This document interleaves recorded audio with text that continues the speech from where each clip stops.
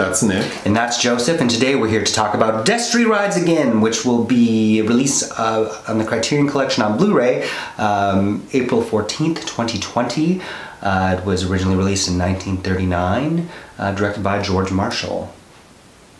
The story is about a small town. It's set in like the 18, like late 1800s. Yeah, uh, a made up uh, fictional town called Bottleneck. Yeah, like a like a okie dope. I don't know how you call those, like cowboy. You know where they have saloons and mm-hmm. it's dirt and horses. Yeah. Gold Rush era. Gold Rush. Okay, I'm ignorant.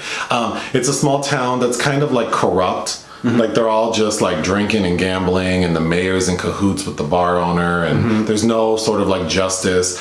the The film opens with the sheriff being killed because he's trying to like exact the law. He's trying to practice law enforcement. So the town drunk is made sheriff by the mayor like as a joke. Because they assume like this fucking drunk's not going to do anything. But he actually takes the shit seriously and he keeps talking about this the this old sheriff named Destry.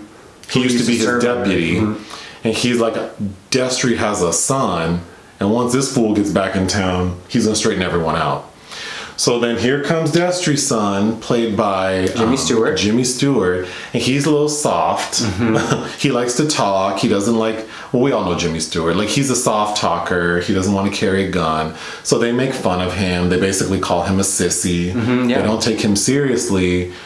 But obviously, he um, uses his wits to get everyone in shape. Mm-hmm. Primarily, like the main bitch in town, Frenchy. played by Marlene Dietrich.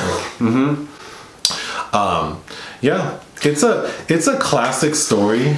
It is. Uh, Yeah. I'm, I'm very happy to see this make Criterion. It's probably my favorite non Josef von Sternberg Dietrich uh, vehicle. Okay. Uh, so th- this was the, so of course she had a toured affair with Jimmy Stewart as she was wont to do with many of her uh, co-stars, male and female, uh, leading to apparently an abortion that both her daughter um, and I forget who else. Uh, You're just telling all her business. um, How does that relate to this movie?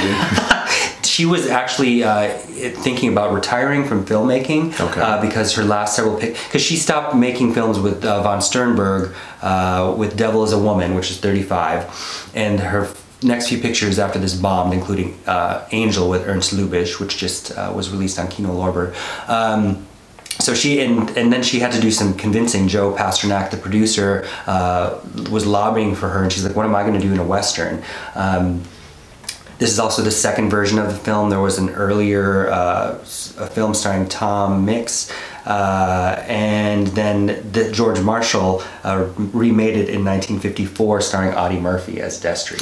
so yeah, Marlene Dietrich in a western. I mean, it's a comedy. Right, and it this revitalized her career. But the film is probably most famous for uh, a fucking excellent catfight sequence between her and Una Merkel uh, in a bar that was actually unchoreographed, filmed in one take, uh, and they're broken. It's broken up by Jimmy Stewart dumping water on them. Now that they filmed several takes of, uh, which there were many complaints about by those stars. Uh, but the, the it's That's- something. but it's a really good scene. Yeah. she has a couple of musical numbers that are funny because she's not a great singer. Oh, see, and, that- and the lyrics are funny. Now that's arguable because some people find her to be a great. Singer. I shouldn't have said that. She has a very distinct style Oh, yeah. of singing that, um, you know, As she she's grew- no Billie Holiday. No, as she grew older, uh, somebody I forget what critic said it was like watching an aristocratic crow. But she looks great. Uh, Yeah. she's uh, she's venomous. oh yes, yeah. You know, so the thing is, um, she when she was convinced to do it, von Sternberg himself said, "I made you into a goddess," and this film like gives you clay feet and brings you down to the mud. And it really is interesting if you're familiar with her uh, filmography. Like this is the first film where we see her. She's not glamorous. She's a fucking awful bitch. She's selfish. Um, But she looks great. She looks great, Yeah. uh, but but she even lets that image get played with too, because after the bar fight scene, she looks bedraggled. for for a, For- brief for a moment. minute, Yeah, but- for a brief moment. Um, the gentleman who ran the bar, who looked like Zac Efron. Brian Donlevy, who you just watched as an old man in Curse of the Fly. which I also enjoyed. I'd recommend that film. Yeah, I actually liked. Well, I mean, I like Fly with Joel, Jeff Goldblum. Mm-hmm. I like the second one with the redhead. Eric Stoltz, I like that one, Mm-hmm. and then I liked. Curse of the Fly. So those are the three I've seen. Mm-hmm. Is there another one? Yeah, there's a Vincent Price did a direct sequel that I, I don't think you've watched Oh. the original. Anyway, I digress. But uh, this film, do you have anything else to say about it? Oh uh, yes, uh, the, the director uh, George Marshall was kind of a jack of all trades. Uh, he was probably best remembered for How the West Was Won. Uh, he also did The Blue Dahlia, which is a pretty good film noir with Veronica Lake, which I think I dragged you to a Veronica Lake feature. Um, this is also notably Jimmy Stewart's uh, first foray into the western. This was. Filmed back to back with uh, Mr. Smith Goes to Washington, which hadn't released then. So he was notable, but but not a huge star. Um, and I think him and Stewart, Stewart and Dietrich kind of do work, um, but it's a lot like um, to me Mae West and Cary Grant. Uh, and she done him wrong. It's, and I could see this woman eating this man. Uh, uh, yeah, I don't like. I like. I love Una Merkel. I like the whole cast. Uh, it was shot by Hal Mohr, who won an Oscar for the 1943 version of Phantom of the Opera. Oh, and shout out to uh, Lillian Yarbo, who plays Clara, her assistant, because you know there's a, a long tradition of there. There were some black women in film, also always in those roles, but along with Butterfly McQueen and Teresa Harris, you know she Okay. Just give her a little credit. Um, it was also based on a novel by Max Brand, so very loosely based. Uh, and Max Brand was um, the reason we had the, had the Dr. Kildare series as well. Great. Um, yeah. Okay. I would give this film three and a half out of five stars.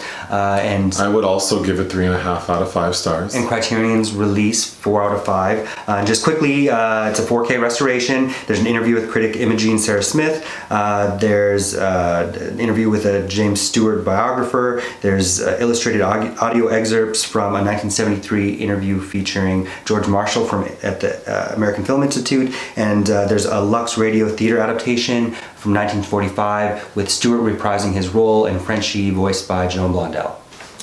Fantastic. Mm-hmm. Are you done? Yeah. Bye. Bye.